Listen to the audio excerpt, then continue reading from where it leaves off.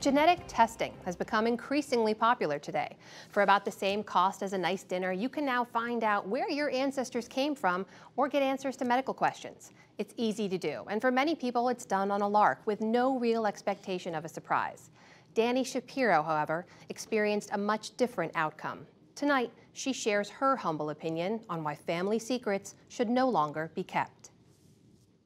On a winter night three years ago, my husband told me that he had decided to take a DNA test. He was curious, that's all. He asked me if I wanted him to order me one too. I wasn't curious. I knew exactly where I came from. But I said, sure, why not? It seemed like no big deal.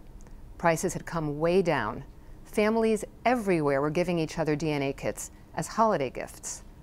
When my results came back, they revealed that my late beloved father had not been my biological father. In rapid succession, using nothing more than Facebook and Google, I learned that I had been conceived in an institute in Philadelphia and that my biological father had been a sperm donor.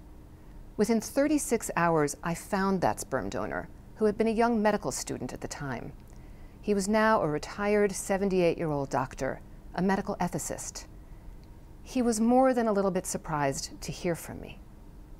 A secret was scrupulously kept from me for 54 years. Secrets defined the world of infertility and reproductive medicine at the time, something that persists to this day. Couples were told to have sex before and after the procedure so that they'd never really be sure who the father was, and then to go home and forget it ever happened, to never breathe a word, not to family, not to friends. The child would never know, and what we don't know doesn't hurt us.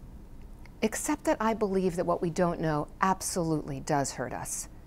I grew up with a powerful sense that something wasn't quite right. Things didn't add up.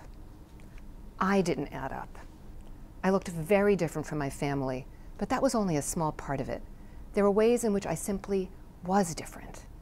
But I didn't know why, so I did what children do. I felt there must be something wrong with me. That feeling of wrongness permeated my life even as I was able to thrive as a writer, marry, and have a child of my own. There was always a subtle disconnect, as if the wires were crossed. I wrote book after book, trying to understand why this was the case.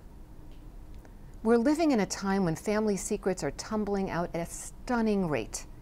Easy, popular DNA testing, along with the internet, makes it nearly inevitable that secrets involving family and identity won't make it to the grave.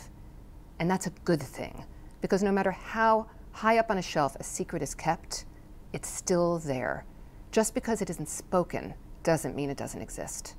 Quite the opposite. It's all the more powerful and dangerous for having been hidden.